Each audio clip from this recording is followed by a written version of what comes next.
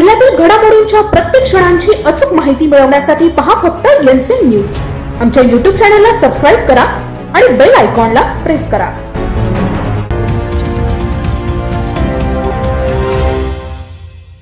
जोरदार वाऱ्यासह हलक्या सरी नाशिक शहर. व परिसरात पहाटेपासूनच वातावरणावर तौत्के त्याचा प्रभाव झाल्याचं दिसून आलं. सकाळी वाऱ्याचा वेग त्याच्या आठ किलोमीटर इतका होता मात्र साडे अकरा वाजेपासून वाऱ्याचा वेग एकशे अठरा किलोमीटर इतका वाढला होता. वाऱ्याचा वेग अधिक वाढल्यामुळे नागरिक देखील घराबाहेर पडले नाहीत. त्यामुळे शहरात लॉकडाऊनचे काटेकोरपणे पालन झाल्याचे चित्र पाहावयास मिळाले. सर्वत्र रस्त्यावर शुकशुकाट होता. औक्य चक्रीवादळ जसजसे मुंबईच्या जवळ येत गेली तसे नाशिकचे हवामान देखील वेगाने बदलत गेले. सर्वत्र ढगाळ हवामान आणि वाऱ्याचा वाढलेला वेग अधूनमधून येणाऱ्या हलक्या सरी. असे वातावरण दिवसभर नागरिकांना अनुभवास आले. चक्रीवादळाचा परिणाम जाणवल्यानं पहाटेपासूनच नाशिक रोड परिसरात सोसाट्याच्या वाऱ्याबरोबरच पावसाच्या हलक्या सरी बरसत गारवा निर्माण झाला असून पावसाच्या हलक्या सरीमुळे नाशिक रोड परिसरातील रस्ते चांगलेच नाहून निघाले.